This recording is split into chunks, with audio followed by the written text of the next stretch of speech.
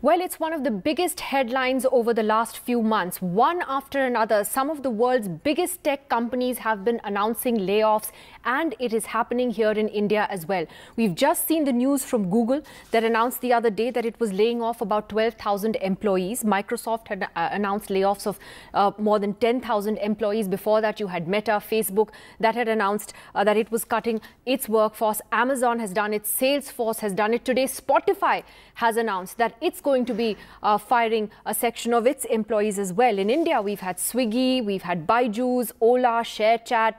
Uh, these are the companies that have laid off their employees. And of course, there is very famously Twitter, which did that after Elon Musk's takeover. Yeah, that's now, what we're going to talk about today.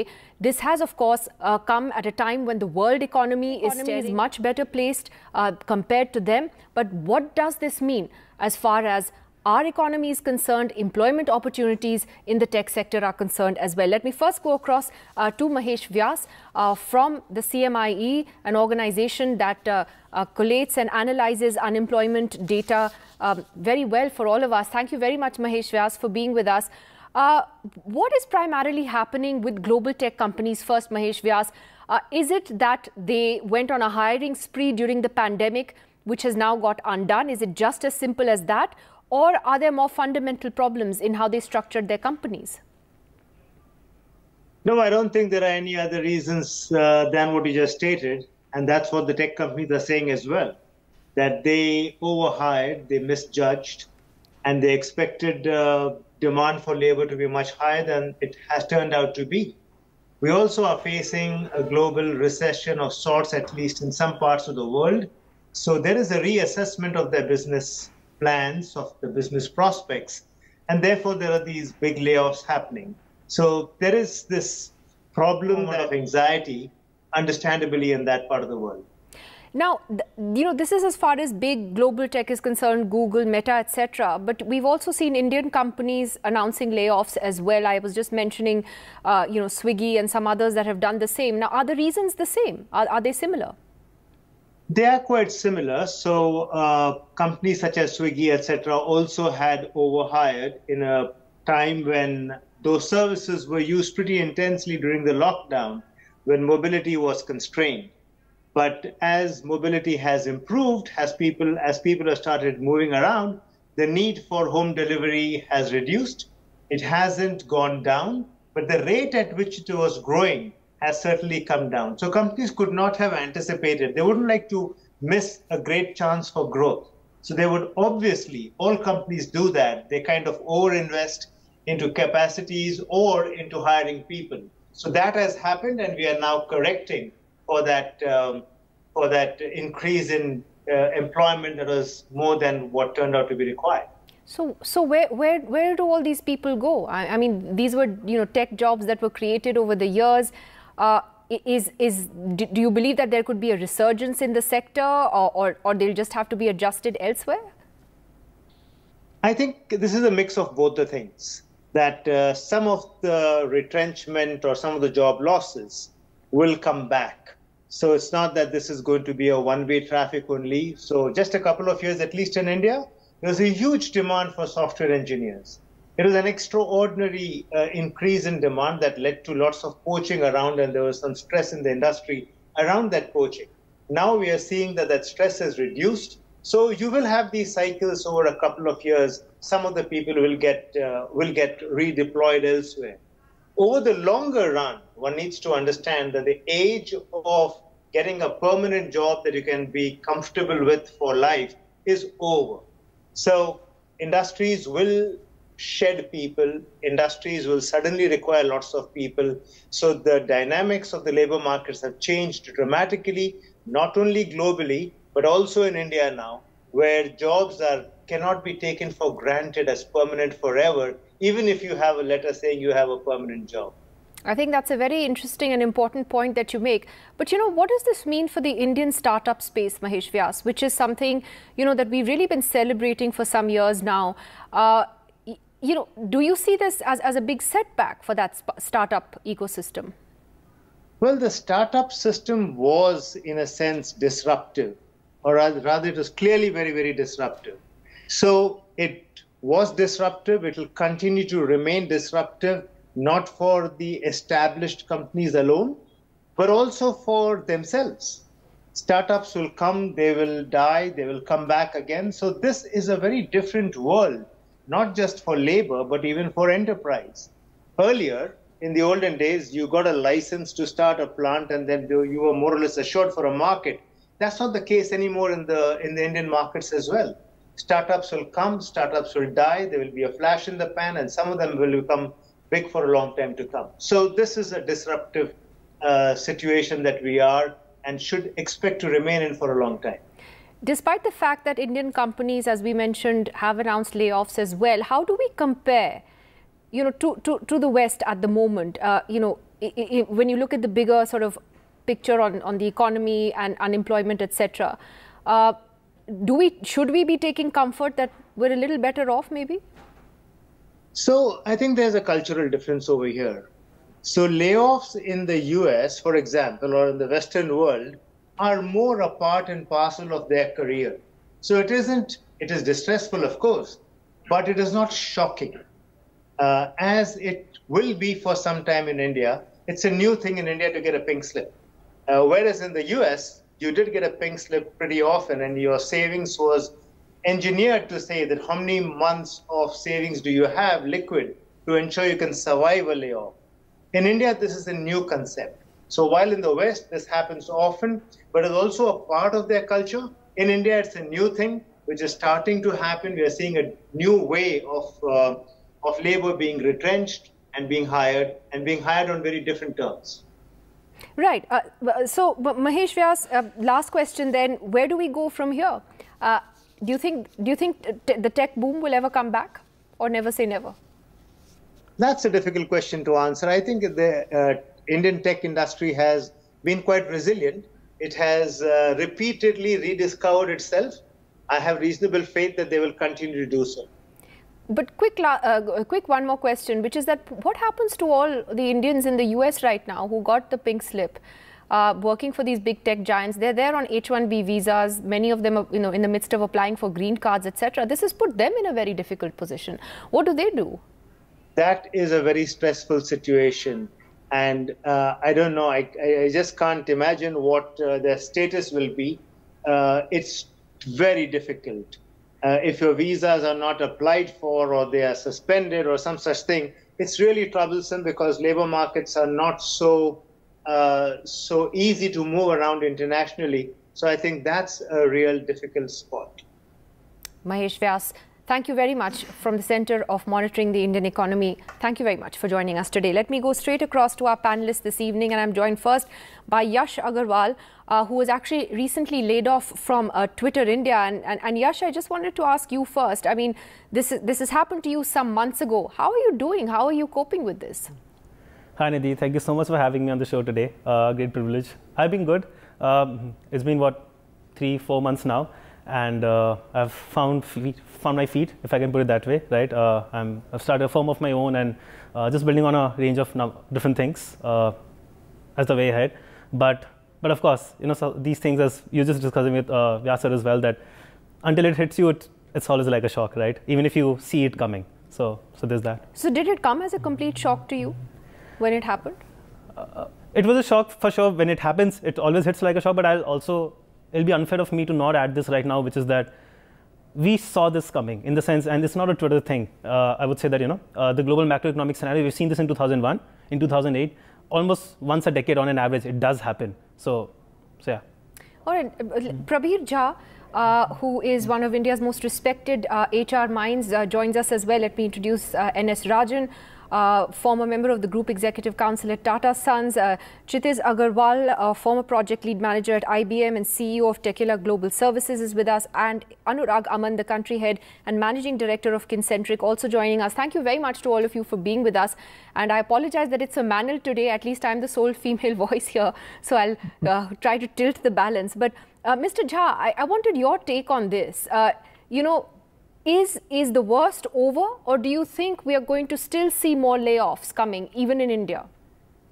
So Nidhi, I think uh, it's going to intensify. It's a lot to do with uh, a the general sentiment, a little bit of the funding winter that seems to be getting prolonged, and uh, there will be a ripple effect of what's happening uh, in the markets beyond India. So uh, very clearly, the worst is not over. But having said that, you know, I think sometimes we do get a little carried away with the uh, emotional upsurge uh, rather than looking at the relative uh, numbers.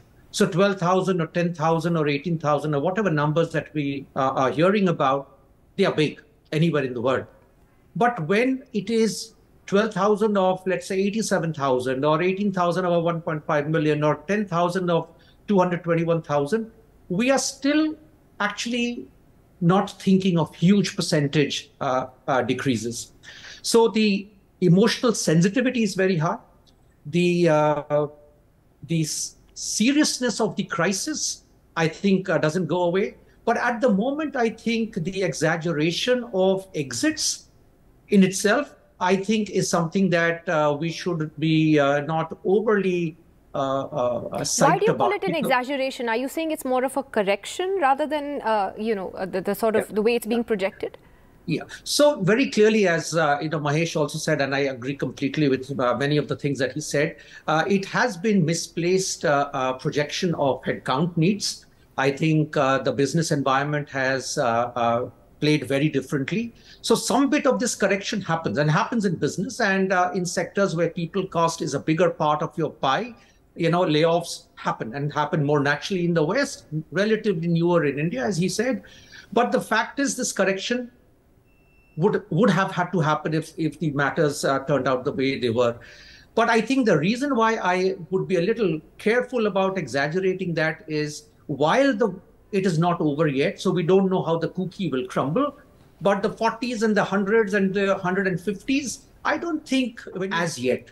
How it will right. play out, we don't know, and we will debate that at that point in time. But I just want to put that in context because sometimes, you know, uh, uh, debates can get uh, a little hijacked just because of the emotional sentiment. 20,000 people were hived off, but of what base population? So the percentages are still relatively small. Is right. it a good situation to be in? The answer is no but uh, uh, very clearly this happens, and uh, and uh, whether it could have been done better is a, is another question. But uh, Right. I, mean, I, I, I, as both you and Mahesh Vyas said, it's a culture that we're not really used to here in India. So I, guess in a way, it makes even bigger headlines. Uh, but, but let me ask you, Anurag Aman, you know, do you agree with that assessment that the worst isn't over?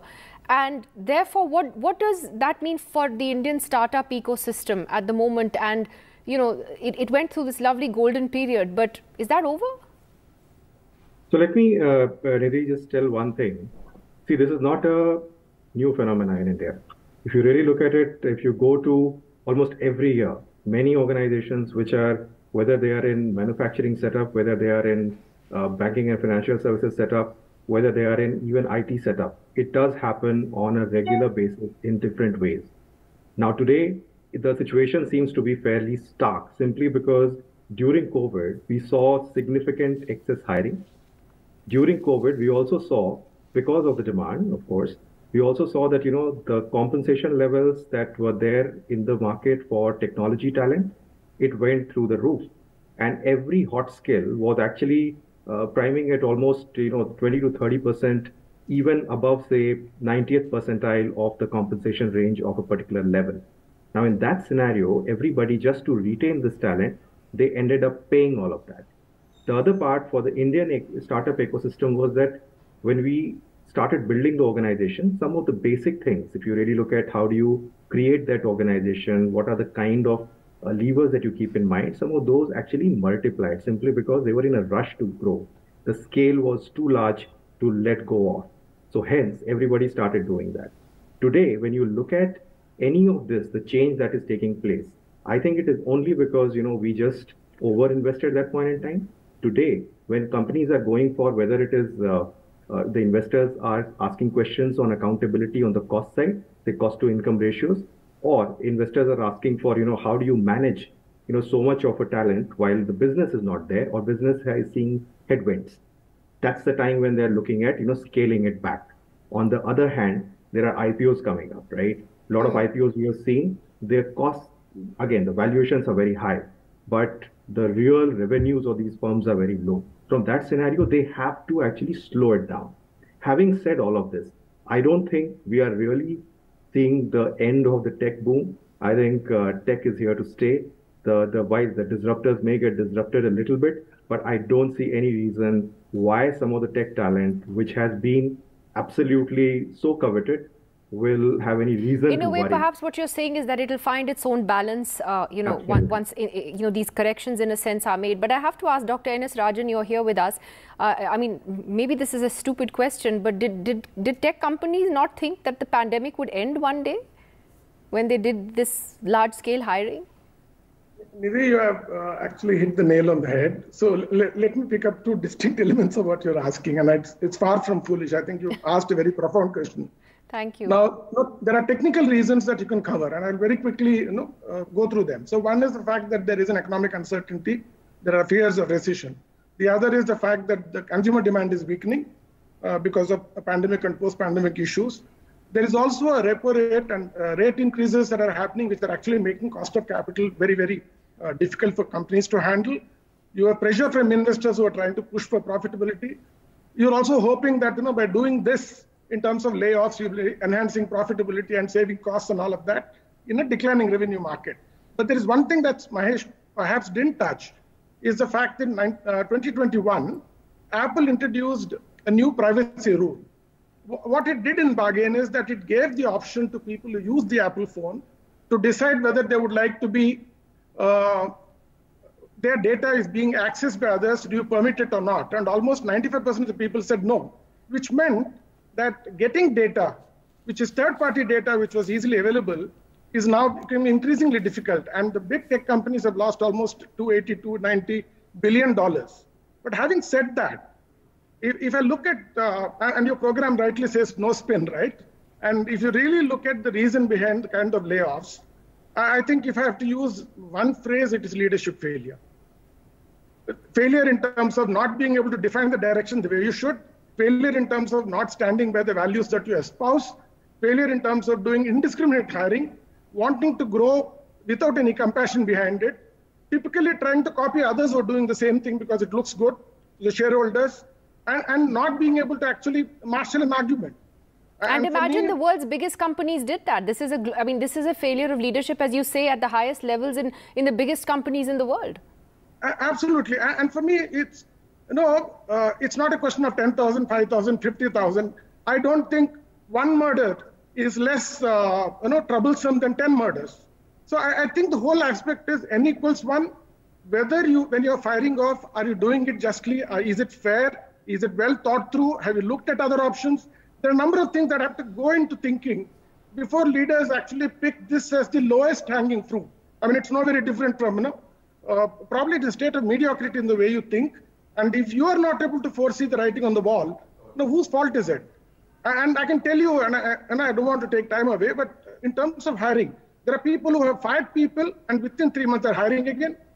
yeah Now, why is it you couldn't think of alternate options? And, and, and I think that is very distressing.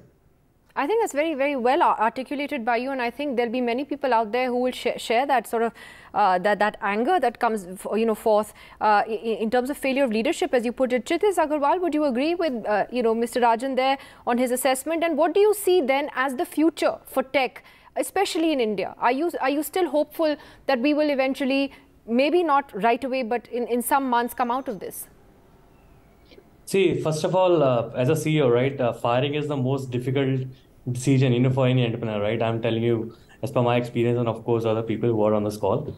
So, you know, none of the entrepreneur wants to do firing, right? Uh, see, what I have seen in this current trend is uh, that during COVID, of course, you know, there was a hiring spree, but I would say, you know, there was also a hiring spree of, uh, you know, like some hiring some aspir, you know, some for some aspirations. You know, for example, if a company wants to invest in some new technologies which might be profitable after a few years, right? Or investing in few things, you know, which can increase the revenue for the future. You know, those kind of things. What they have hired, they have now put it on the pause, and they might have let, let go of the team, which they have hired for future revenue. But having said that, you know, if you talk about tech space, I'm I'm talking from the ground where, of course, we are also hiring people for our own company and for other companies for which we hire.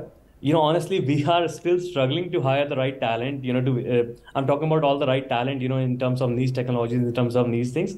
If you talk about, you know, like uh, uh, people are firing, I would say, you know, where are those people? Because if I go to the market and try to hire a nice AI guy or a nice ServiceNow guy or Salesforce guy, I'm not finding anyone, right? So, but you're saying say, that there's a lack of talent that you're finding to hire people when there are so many people out there who are clearly looking for jobs in this sector. Of, of course, there is. Of course, there is. You know, as I mentioned, like you know, in terms of niche developers, there is always a need of them. There is uh, India is a growing stage, and India is known for you know their tech talent, right? So there is always a need of tech talent, and uh, I would say you know like for a good people who are you know up to speed and who are able to perform, I don't yeah. think they have any issues in getting a job.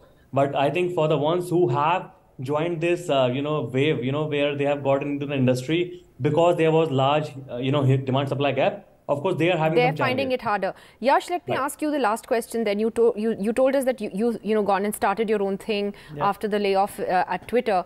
Uh, what about your colleagues? it's a it's three very specific things that they're into, right? One is a lot of them have already started at big tech again, right, in different roles, and almost always a step up. So I'll agree with you know what Shadid was saying. So those avenues are still open, right? Uh, second is a lot of them are doing independent consulting, right? Uh, like they have the expertise and you know the networks and the contacts and the wherewithal. So that's something that they're doing few of them are also waiting it out, right? Uh, I know, if, I don't want to name names, but you know, a lot of people, most of the people that I know, they do have offers from a range of places, right? Uh, they're working different roles at Twitter, right? Sales, finance, legal, so marketing, what have watching. you. Yeah, but this is waiting it out and yeah, they'll learn something even better. All right. I, I have to leave it there today. It's a fascinating conversation. Thank you very much to all of you for joining us. And I wish all those uh, all the very best as they look for new avenues uh, in what is a very difficult economic environment all over the world at the moment. Thank you very much.